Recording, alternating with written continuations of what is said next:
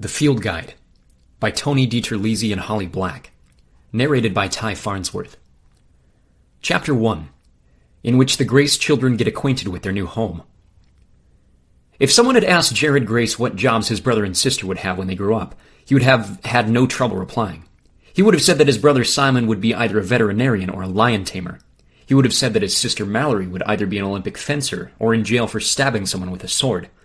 But he couldn't say what job he would grow up to have. Not that anyone asked him. Not that anyone asked his opinion on anything at all. The new house, for instance. Jared Grace looked up at it and squinted. Maybe it would look better blurry. It's a shack, Mallory said, getting out of the station wagon. It wasn't really, though. It was more like a dozen shacks had been piled on top of one another. There were several chimneys, and the whole thing was topped off by a strip of iron fencing sitting on the roof like a particularly garish hat. It's not so bad, their mother said, with a smile that looked only slightly forced. It's Victorian. Simon, Jared's identical twin, didn't look upset. He was probably thinking of all the animals he could have now. Actually, considering what he'd packed into their tiny bedroom in New York, Jared figured it would take a lot of rabbits and hedgehogs and whatever else was out here to satisfy Simon. Come on, Jared, Simon called. Jared realized they had all crossed the front steps and he was alone on the lawn, staring at the house. The doors were faded gray, worn with age. The only traces of paint were an indeterminate cream, stuck deep in crevices around the hinges. A rusted ram's head door knocker hung from a single heavy nail at its center. Their mother fit a jagged key into the lock, turned it, and shoved hard with her shoulder. The door opened into a dim hallway. The only window was halfway up the stairs, and its stained glass panes gave the walls an eerie reddish glow. It's just like I remember, she said, smiling. Only a crappier, said Mallory. Their mother sighed, but didn't otherwise respond. The hallway led into a dining room. A long table with faded water spots was the only piece of furniture. The plaster ceiling was cracked in places, and a chandelier hung from frayed wires. Why don't you three start bringing things in from the car? Their mother said. Into here? Jared asked. Yes, into here.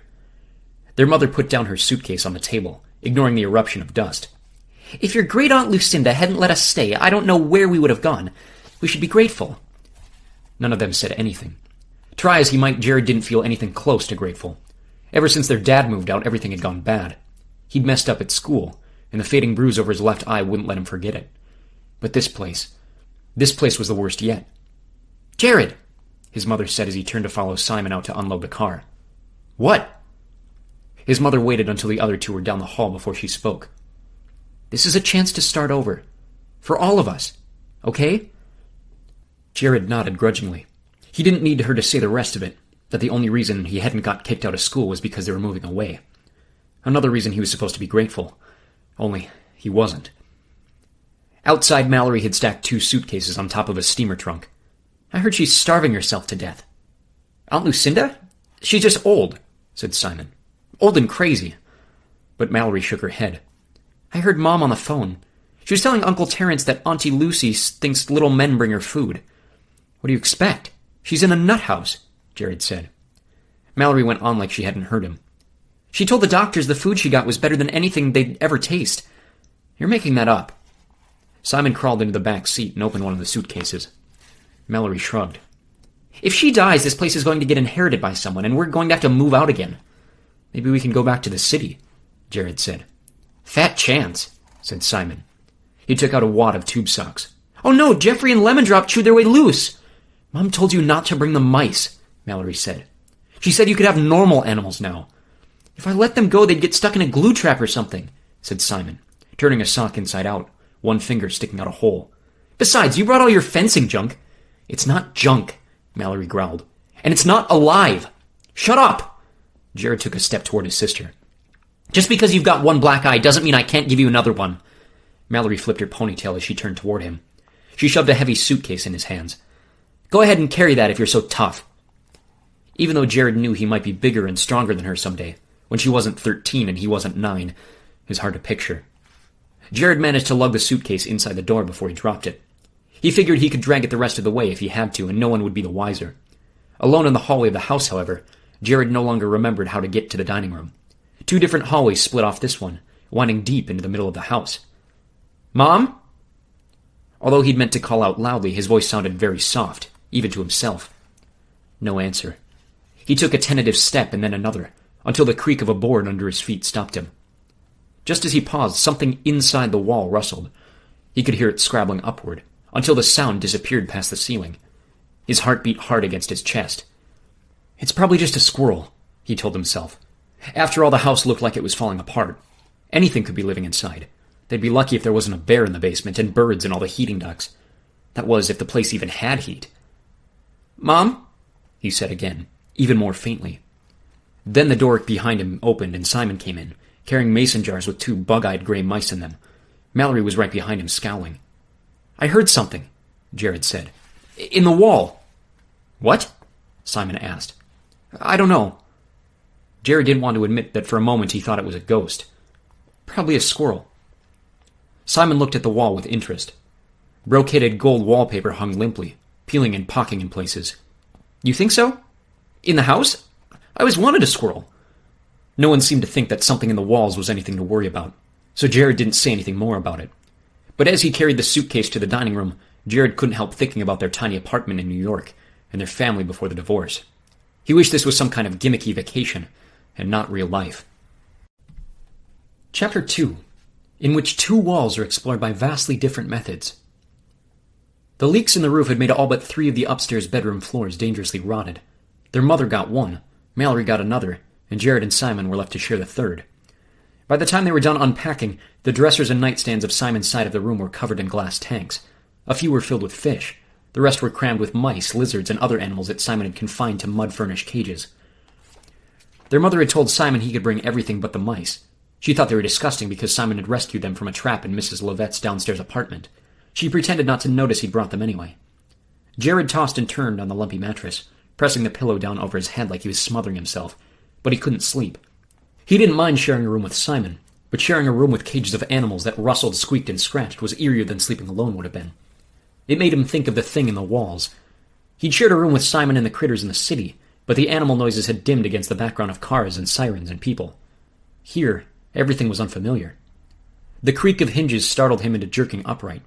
There was a figure in the doorway, with a shapeless white gown and long, dark hair. Jared slid off the bed so fast he didn't even remember doing it. It's just me, the figure whispered. It was Mallory in a nightgown. I think I heard your squirrel. Jared stood up from a crouch trying to decide if moving so fast meant he was a chicken, or if he just had good reflexes. Simon was snoring gently in the other bed. Mallory put her hands on her hips. Come on! I'm not going to wait around for us to catch it. Jared shook his twin's shoulder. Simon! Wake up! New pet! New pet! Simon twitched and groaned, trying to pull the covers over his head. Mallory laughed. Simon! Jared leaned in close, making his voice deliberately urgent. Squirrel! Squirrel! Simon opened his eyes and glared at them. I was sleeping. Mom went out to the store for milk and cereal, Mallory said, pulling the covers off him. She said I was supposed to keep an eye on you. We don't have much time before she gets back. The three siblings crept along the dark hallways of their new house. Mallory was in the lead, walking a few paces and then stopping to listen. Every now and then there would be a scratch or a sound like small footsteps inside the walls. The scuttling grew louder as they neared the kitchen. In the kitchen sink, Jared could see a pan crusted with the remains of macaroni and cheese they'd had for dinner. I think it's there. Listen, Mallory whispered.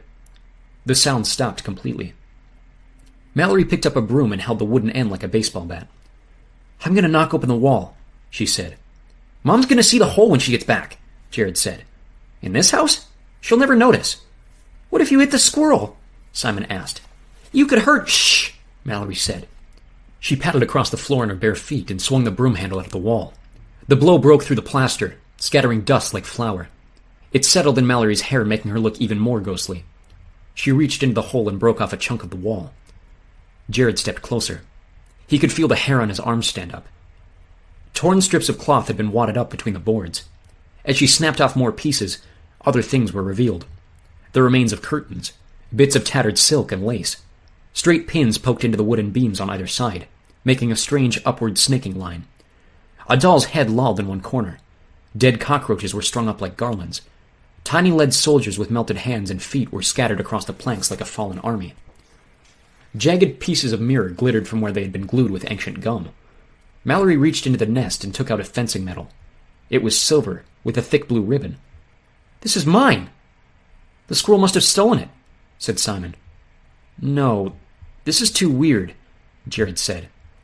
Diana Beckley had ferrets and they used to steal her Barbie dolls, Simon replied. And lots of animals like shiny things. But look! Jared pointed to the cockroaches.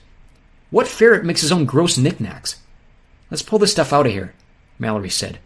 Maybe if it doesn't have a nest, it'll be easier to keep out of the house. Jared hesitated. He didn't want to put his hands inside the wall and feel around. What if it was still in there and bit him? Maybe he didn't know much, but he really didn't think squirrels were normally this creepy. I don't think we should do that, he said. Mallory wasn't listening. She was busy dragging over a trash can. Simon started pulling out wads of the musty cloth. There's no droppings either. That's strange. Simon dumped what he was holding and pulled out another handful. At the army men, he stopped. These are cool, aren't they, Jared? Jared had a nod. They'd be better with hands, though.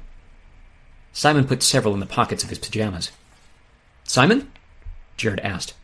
Have you ever heard of an animal like this? I, I mean, some of this stuff is really odd, you know? Like, this squirrel must have been as demented as Aunt Lucy. Yeah, it's real nutty, Simon said, and giggled. Mallory groaned, then suddenly went quiet. I hear it again.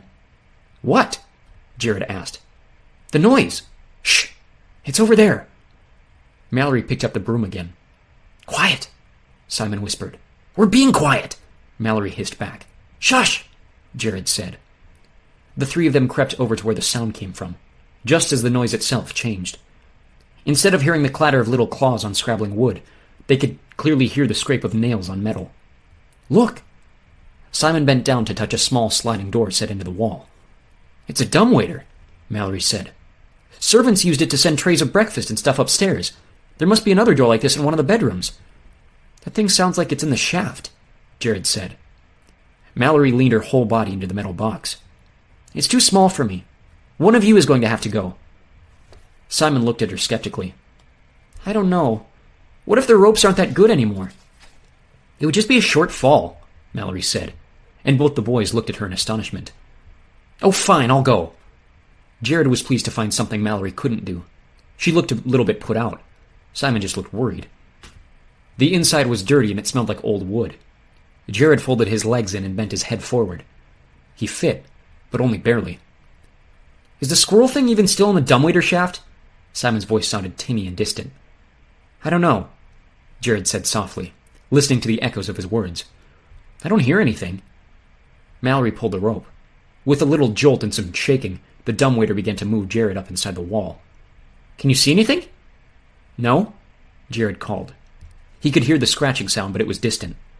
It's completely black. Mallory winched the dumbwaiter back down. There's got to be a light around here somewhere. She opened a few drawers until she found the stub of a white candle in a mason jar.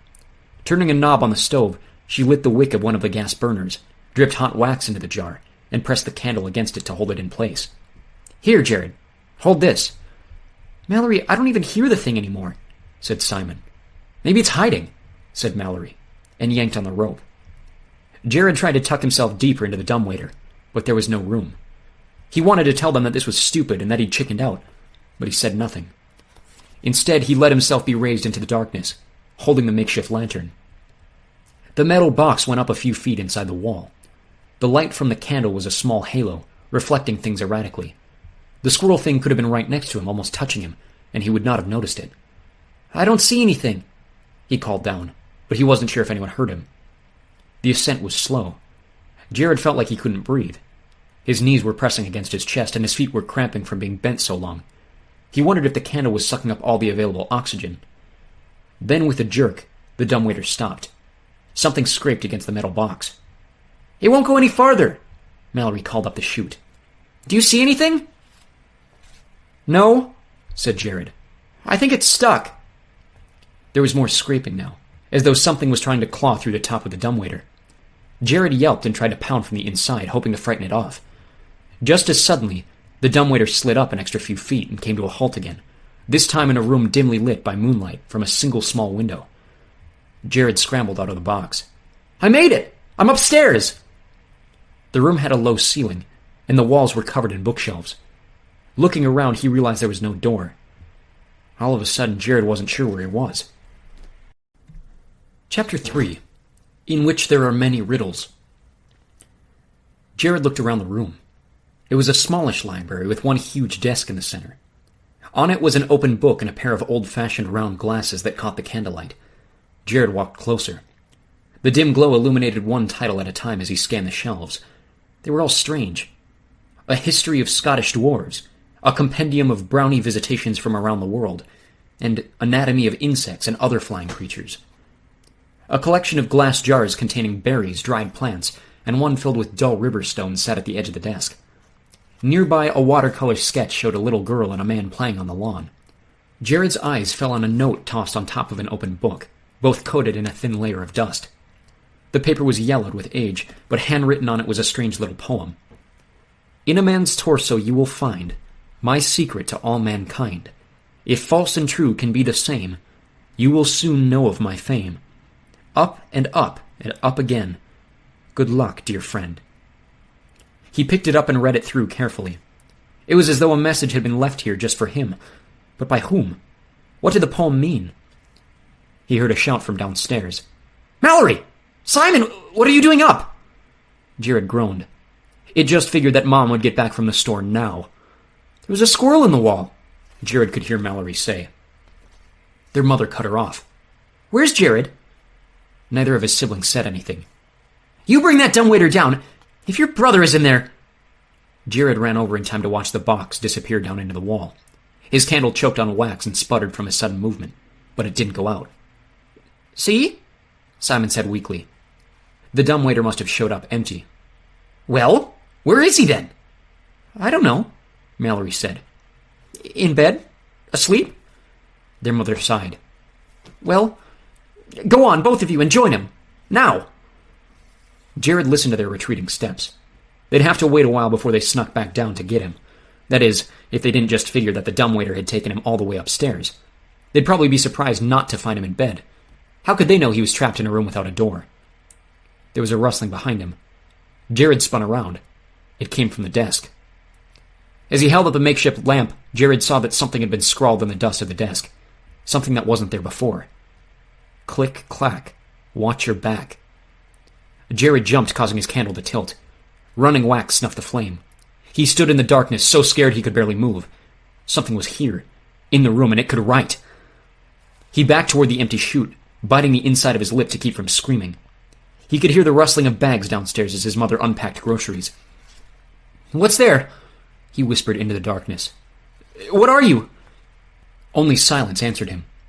I know you're there, Jared said, but there was no reply and no more rustling. Then he heard his mother on the stairs, a door, and nothing. Nothing but a silence so thick and heavy that it choked him. He felt that even breathing too loudly would give him away. Any moment the thing would be upon him. There was a creak from inside the wall. Startled, Jared dropped the jar, then realized it was only the dumbwaiter. He felt his way through the darkness. Get in! His sister whispered up the shaft. Jared squeezed into the metal box. He was so filled with relief that he had barely noticed the ride down to the kitchen. As soon as he got out, he started speaking. There was a library, a secret library with weird books, and something was in there. It wrote in the dust. Shh, Jared, Simon said. Mom's going to hear us. Jared held up the piece of paper with the poem on it. Look at this. It has some kind of directions on it. Did you actually see anything? Mallory asked. I saw the message in the dust. It said, Watch your back. Jared replied hotly. Mallory shook her head. That could have been written there ages ago. It wasn't, Jared insisted. I saw the desk and there was nothing written there before. Calm down, Mallory said. Mallory, I saw it! Mallory grabbed his shirt in her fist. Be quiet. Mallory, let go of your brother. Their mother was standing at the top of the narrow kitchen stairs, wearing a less than pleased expression. I thought we already went through this. If I see any of you out of your beds, I'm going to lock you in your rooms. Mallory let go of Jared's shirt with a long glare. What if we need to go to the bathroom? Simon asked. Just go to bed, their mother said. When they got upstairs, Jared and Simon went off to their room. Jared pulled the covers over his head and scrunched his eyes shut. I believe you. About the note and all, Simon whispered, but Jared didn't reply. He was just glad to be in bed. He thought he could probably stay there for a whole week. Chapter 4 In which there are answers, although not necessarily to the right questions. Jared woke up to the sound of Mallory's screaming. He jumped out of bed and rushed down the hall, past Simon and into his sister's room. Long pieces of her hair had been knotted to the brass headboard. Her face was red, but the worst part was the strange pattern of bruises that decorated her arms. Their mother was seated on the mattress, her fingers tugging at the knots. What happened? Jared asked. Just chop it, Mallory sobbed. Cut it off! I want to get out of this bed! I want to get out of this house! I hate this place! Who did this? Their mother looked at Jared angrily. I, I don't know. Jared glanced at Simon standing in the doorway, looking puzzled. It must have been the thing in the walls. Their mother's eyes got huge. It was scary. Jared Grace, I saw you arguing with your sister last night. Mom, I, I didn't do it, honest. He was shocked that she thought he would do something like this. He and Mallory were always fighting, but it didn't mean anything. Get the scissors, Mom! Mallory yelled. Both of you, out! Jared, I will talk to you later. Mrs. Grace turned back to her daughter. Jared left the room, his heart pounding. When he thought about Mallory's knotted hair, he couldn't contain a shiver. You think that thing did it, don't you? Simon asked as they entered the bedroom. Jared looked at his brother in dismay. Don't you? Simon nodded. I keep thinking about that poem I found, Jared said. It's the only clue we have. How's a stupid poem going to help? I don't know, Jared sighed. You're the smart one. You should be figuring this out. How come nothing happened to us? Or to Mom? Jared hadn't even thought about that. I don't know, he said again. Simon gave him a long look. Well, what do you think? Jared asked. Simon started out the door. I don't know what I think. I'm going to go and try and catch some crickets. Jared watched him go and wondered what he could do. Could he really solve anything by himself? Getting dressed, he thought about the poem. Up and up and up again was the simplest line, but what did it mean exactly? Up in the house? Up on the roof? Up in a tree? Maybe the poem was just something that old dead relative was keeping around, something that wasn't going to help at all. But since Simon was feeding his animals and Mallory was being freed from her bed, he had nothing better to do than wonder how far up and up and up again he needed to go. So okay, maybe it wasn't the easiest clue after all, but Jared figured it couldn't hurt to go up, past the second floor to the attic. The stairs were worn clean of their paint, and several times the boards he stepped on creaked so dramatically that Jared was afraid they were going to snap from his weight. The attic level was a vast room with a slanted ceiling and a gaping hole in the floor on one end. Through it he could see down into one of the unusable bedrooms. Old garment bags hung from a clothesline of thin wire stretching across the width of the attic. Birdhouses hung in profusion from the rafters, and a dressmaker's dummy stood alone in a corner, a hat over its knobbed head. And in the center of the room, there was a spiral staircase. Up and up and up again. Jared took the stairs two at a time. The room he entered was bright and small. There were windows on all sides, and when he looked out, he could see the chipped and worn slate of the roof below him. He could see his mother's station wagon out in the gravel driveway. He could even see the carriage house and the long lawn that ran down into the woods. This must be part of the house that had the weird iron fencing on top of it. What a great place! Even Mallory would be impressed when he brought her up here. Maybe it would make her less upset about her hair. There wasn't much in the room. An old trunk, a small stool, a Victrola, and rolls of faded fabric. Jared sat down, pulled the crumpled poem from his pocket, and read through it again. In a man's torso you will find my secret to all mankind. Those lines bothered him. He didn't want to find an old dead body, even if there was something really cool inside it. The bright yellow sunlight splashing across the floor reassured him. In movies, bad things seldom happen in broad daylight, but he still hesitated to open the trunk. Maybe he should go outside and get Simon to come up with him. But what if the chest was empty? Or what if the palm had nothing to do with Mallory's bruises and knotted hair? Not knowing what else to do, he knelt down and brushed cobwebs and grime from the top of the trunk. Heavy strips of rusted metal striped the rotting leather. At least he could take a look. Maybe the clue would be more obvious if he knew what was inside. Taking a breath, Jared pushed up the lid. It was full of very old, moth eaten clothes. Underneath there was a pocket watch on a long chain, a tattered cap, and a leather satchel full of old, odd looking pencils and cracked bits of charcoal. Nothing in the trunk looked like it was secret, for mankind or anybody else. Nothing looked like a dead body either. In a man's torso you will find my secret to all mankind. He looked down at the contents of the chest again, and it hit him. He was looking at a chest. A man's torso would be his chest. Jared groaned in frustration. How could he be right and still have nothing to show for it? There was nothing good in the chest, and the other lines of the poem made no sense at all. If false and true can be the same, you will soon know of my fame. How could that be answered with something real? It sounded like a word game. What could be false, though? Something about this situation? Something about the stuff in the chest? The chest itself? He thought about chests, and chests made him think about pirates on a beach bearing treasure deep in the cool sand. Buried underneath. Not a false chest, but a chest with a false bottom. Looking carefully, he could see that the inside seemed higher than it should be. Had he really solved the riddle? Jared got down on his knees and began to push all over the floor of the trunk, threading his fingers through the dust to look for seams that might allow him to pull an unseen compartment open. When he found nothing, he began to touch the outside, pawing over the box. Finally, when he pressed three fingers against the edge of the left side, a compartment popped open. Excited beyond reason, Jared pressed his hand inside. The only contents were a squarish bundle wrapped in a dirty cloth. He took it out, untied it, and started to unfold the fabric from an old, crumbling book that smelled like burnt paper. Embossed on the brown leather, the title read Arthur Spiderwick's Field Guide to the Fantastical World Around You. The cover was ragged at the edges, and as he opened it, he noticed that it was full of watercolor sketches. The writing had been done in ink, grown smudged and spotted with age and water damage. He flipped the pages quickly, glancing at notes tucked into the volume. These were written in a spidery hand, very like the writing of the riddle. The strangest thing, however, was the subject matter. The book was full of information about fairies. Chapter 5 In which Jared reads a book and sets a trap. Mallory and Simon were out on the lawn fencing when Jared found them. Mallory's ponytail stuck out of the back of her fencing helmet, and Jared could see that it was shorter than it had once been. She was apparently trying to make up for her earlier weakness by ruthless fencing. Simon couldn't seem to get a strike in at all. He was being backed against the side of the broken down carriage house, his parries becoming increasingly desperate. I found something, Jared called. Simon turned his helmeted head.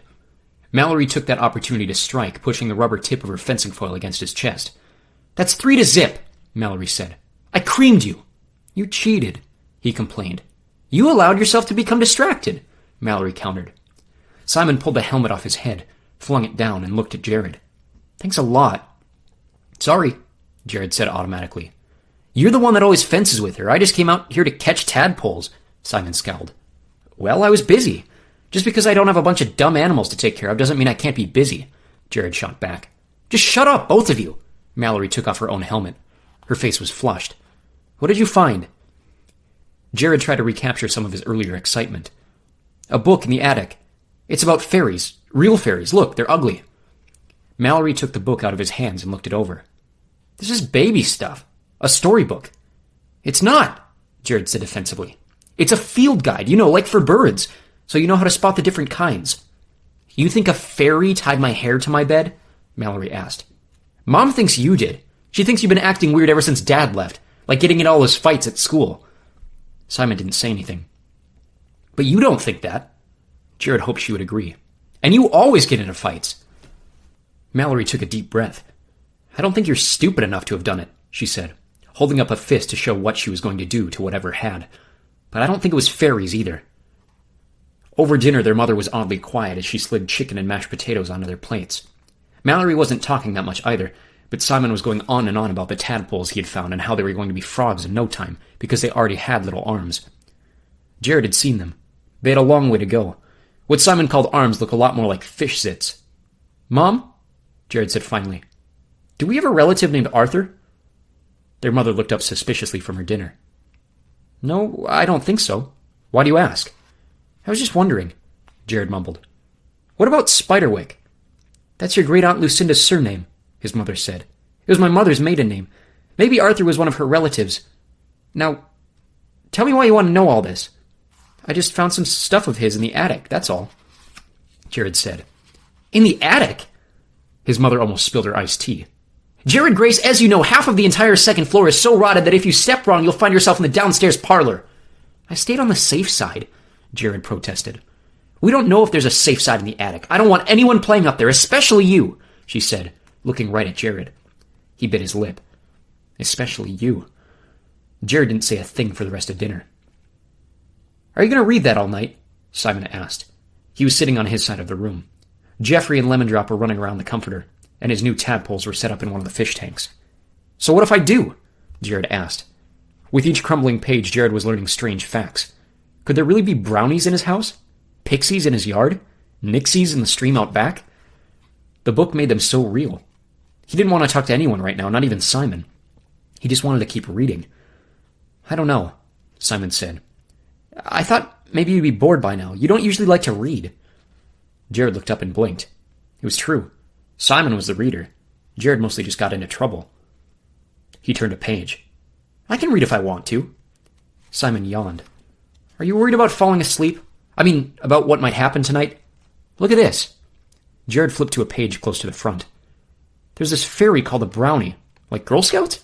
I don't know, Jared said. Like this, look. He pushed the page in front of Simon.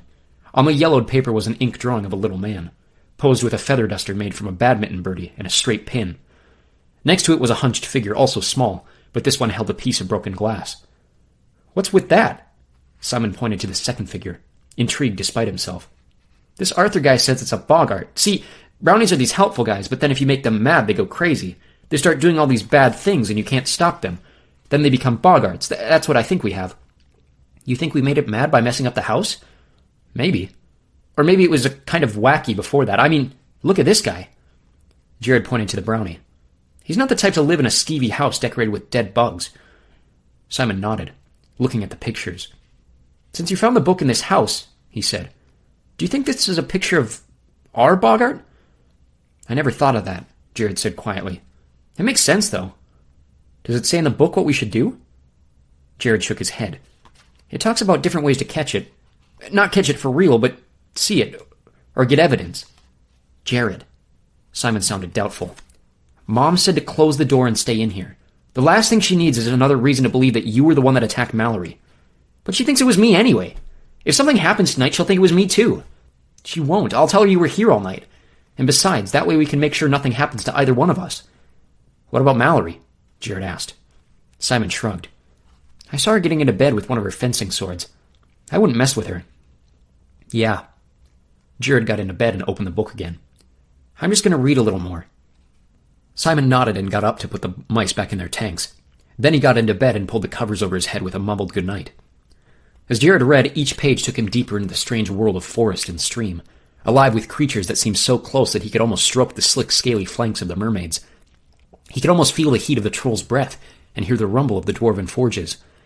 When he turned the last page, it was late at night. Simon was bundled up so that Jared could only see the top of his head.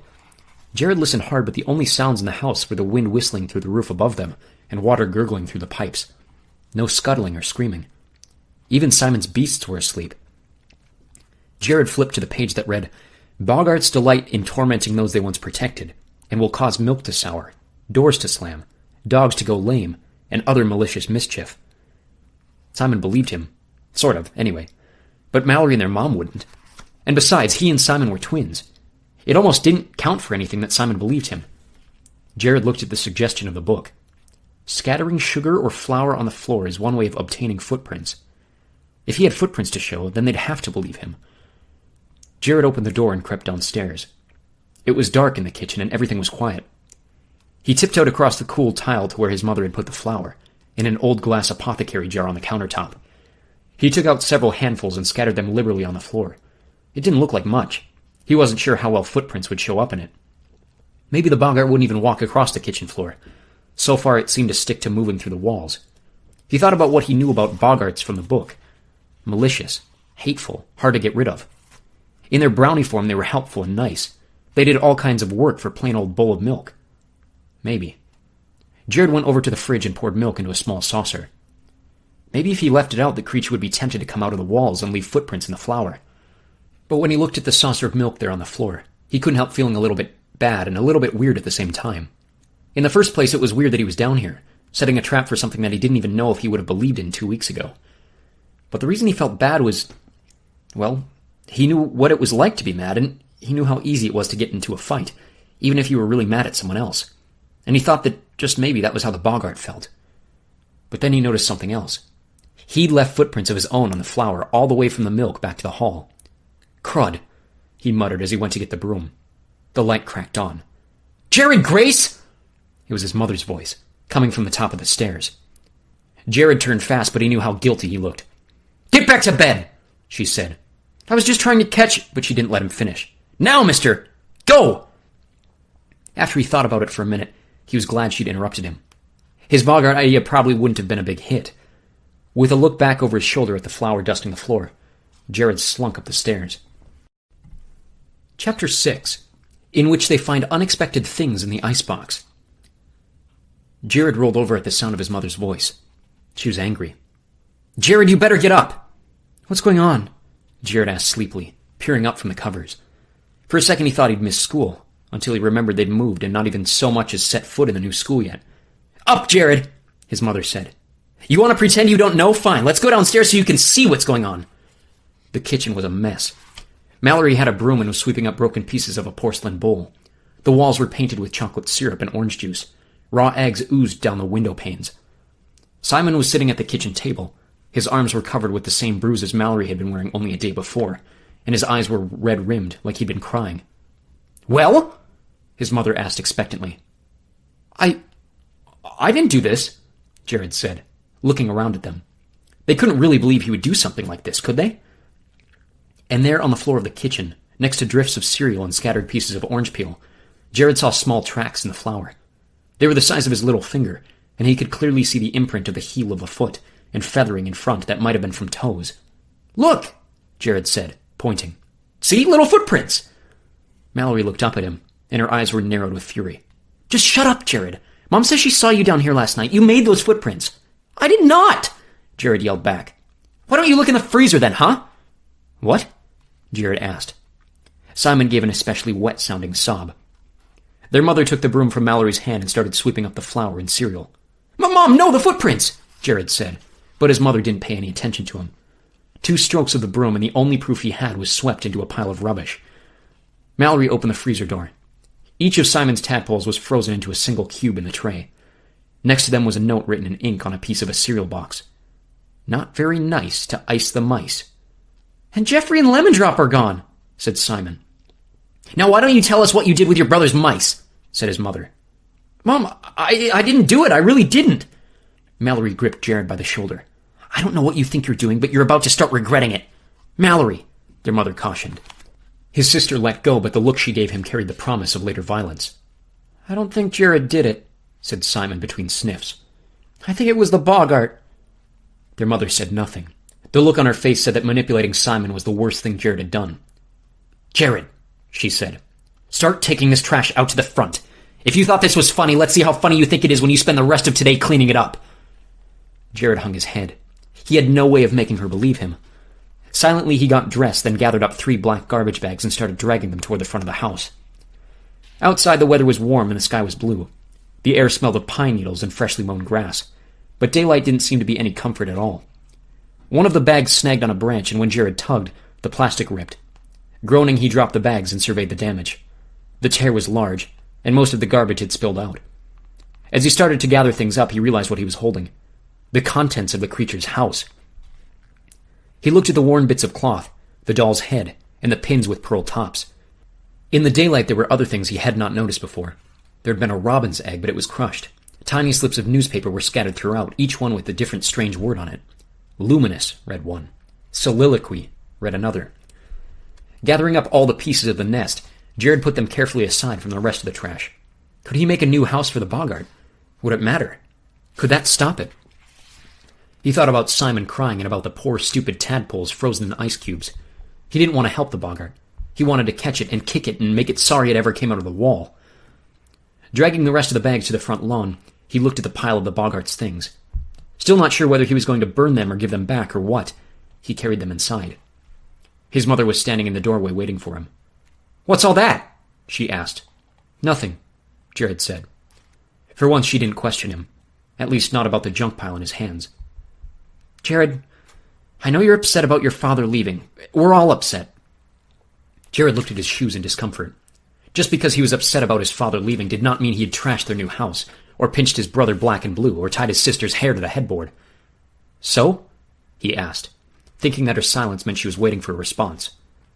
So? she repeated. So, you need to stop letting your anger control you, Jared Grace. Your sister works things out when she's fencing, and your brother has his animals. But you, I didn't do it, Jared said. Why won't you believe me? Is it because of the fight at school? I have to admit, his mother said. I was shocked to learn that you broke a boy's nose. That is just the kind of thing I'm talking about. Simon doesn't get into fights, and neither did you before your father left. He studied his shoes even more intently.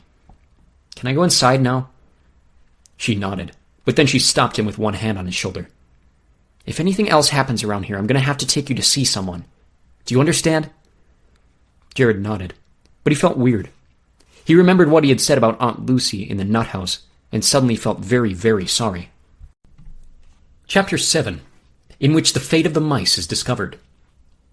I really need your help, said Jared.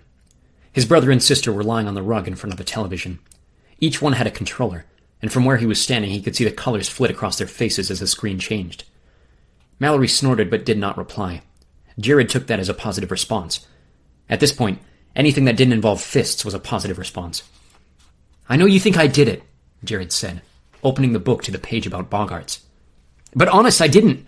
You heard the thing in the walls. There was the writing on the desk and the footprints in the flour. And remember the nest? Remember how you guys pulled everything out of that nest? Mallory stood up and snatched the book out of his hands. Give it back! Jared pleaded, making a grab for it. Mallory held it over her head. This book is what started all the trouble. No! Jared said. Th- that's not true. I-, I got the book after your hair was knotted. Give it back, Mallory, please, give it back. Now she held it in two hands, one on either side of the open book, poised to rip it apart. Mallory, no! No! Jared was nearly speechless with panic. If he didn't think of something quick, the book was going to be in pieces. Wait, Mal, Simon said, getting up from the floor. Mallory waited. What help did you want, Jared? Jared took a deep breath. I've been thinking that if our messing up the nest is what got it upset, then maybe we could make it a new nest. I. I took a birdhouse and put some stuff in it. I thought. Well. I thought that maybe the Boggart was a little bit like us because it's stuck here too. I mean, maybe it doesn't even want to be here. Maybe being here makes it mad. Okay, before I say I believe you, Mallory said, holding the book in a less threatening position. Tell me exactly what you want us to do. I need you guys to work the dumbwaiter, Jared said, so I can bring the house up to the library. I thought it would be safe there. Let's see this house, Mallory said. She and Simon followed Jared into the hall, and he showed it to them. It was made from a wooden birdhouse large enough for a crow to roost in. Jared had found it among the ones hanging in the attic. Sliding up the back, he showed them how he had arranged everything except the cockroaches neatly inside.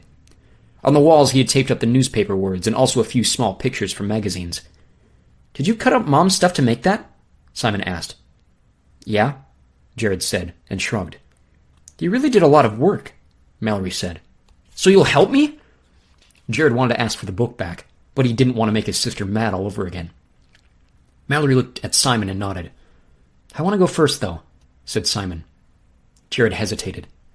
Sure, he said. Walking quietly past the den where their mother was phoning construction people, they went into the kitchen. Simon hesitated in front of the dumbwaiter. Do you think my mice are alive? Jared didn't know what to say. He thought about the tadpoles frozen in ice. He wanted Simon to help, but didn't want to lie. Simon got down on his knees and climbed into the dumbwaiter. In a few moments, Mallory had wheeled him up inside the wall. Simon gave a small gasp as he started moving, but then they heard nothing, even after the dumbwaiter stopped. You said there was a desk in there, and papers, Mallory said. Yeah. Jared wasn't sure what she was driving at. If she didn't believe him, she could ask Simon when he came back down. Well, they needed to get it in there somehow, and it wasn't little, right? So an adult worked in there, but how did an adult get in there? Jared was puzzled for a moment. Then he understood. A secret door? Mallory nodded. Maybe. The dumbwaiter came back down and Jared got inside. The little house cradled in his lap. Mallory winched him up inside the dark tunnel. The trip was fast, but he was still very, very glad to see the library. Simon was standing in the middle of the room, looking around in awe. Jared grinned. See? It's so cool in here, said Simon. Look at all these animal books. Thinking about the secret door, Jared tried to picture where he must be in relation to the rest of the rooms upstairs. He figured which direction would head toward the hall. Mallory thinks there's a hidden door, Jared said. Simon came over. There was a bookcase, a large picture, and a cabinet in front of the wall Jared was looking at. Picture, Simon said, and together they took down the large oil painting. It was of a thin man with glasses sitting stiffly on a green chair. Jared wondered if that was Arthur Spiderwick. Behind the picture was nothing but flat wall. Maybe we could pull out some of the books, Jared said, taking out one entitled Mysterious Mushrooms, Fabulous Fungi. Simon opened the cabinet doors. Hey, look at this! They opened into the upstairs linen closet. A few minutes later, Mallory was looking around the room, too. This place is creepy, Mallory said. Simon grinned. Yeah, no one knows about it but us. And the Boggart, said Jared. He hung his birdhouse from a wall sconce. Mallory and Simon helped him make sure that the insides were arranged, and then each of them added something to the house. Jared put in one of his winter gloves, thinking that the Boggart could use it as a sleeping bag. Simon added a small dish he'd once used to give his lizards water, and Mallory must have believed Jared a little because she tucked her silver fencing medal with the blue ribbon neatly inside. When they were done, they looked it over. They all thought it was a fine house. Let's leave it a note, Simon suggested. A note? Jared asked. Yeah. Simon pawed through the drawers of the desk and found some paper, a pen with a nib, and a bottle of ink.